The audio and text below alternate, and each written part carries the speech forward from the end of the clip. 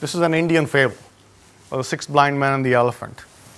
And, um, and the idea here is that these blind men are asked to interpret an elephant merely by feeling him. And the guy who feels the leg says it's, it's, it's a pole. The guy who feels his stomach says it's a wall. And the guy who feels his trunk says it's a rope. Now, they're all correct from their points of view, but nobody sees the elephant, the whole elephant. Similarly, convergence, or the definition of convergence, depends on where you're at and where, how you're looking at the space.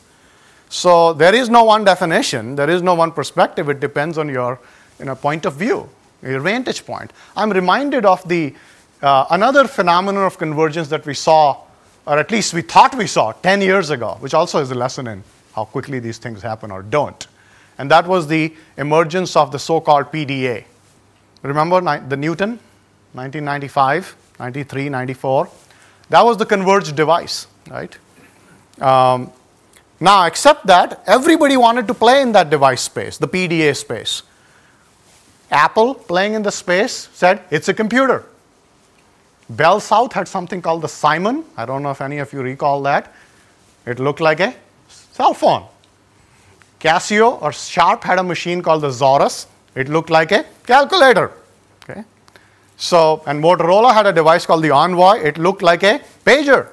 So, they all thought they were doing convergence in that world, but they were all still propagating their own point of view and their own religion, and they weren't seeing the whole elephant.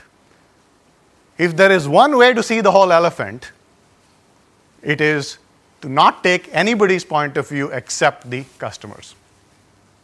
That is the only unifying construct that I see. That's what's common across all of us. We all ultimately, somebody pays the bills. And it's what they define, if the, the benefits that they get out of a convergence, that's where we got to work backwards from. Okay? But having said that, let me point out three key views or three key perspectives on convergence. I think the first view is the network view or the infrastructure view. And here, this is the vision of the next generation network or everything over IP, EO, E over IP or everything over IP. And this where we can talk about platform convergence, technology convergence, you know, fixed mobile convergence, as we talked about this morning, and another interesting thing that I see, which is the convergence of the telecom, datacom world with the broadcasting world, something I want to spend some time talking about because I think those are, those are some areas where opportunities are uh, emerging for carriers to participate in the uh, multimedia, whether it's on mobile or fixed devices. Uh, so, as well as convergence of public and private networks, you know, uh, which is, you know, VPNs and so on and so forth. So that's one view of convergence, which is what's happening on the network end.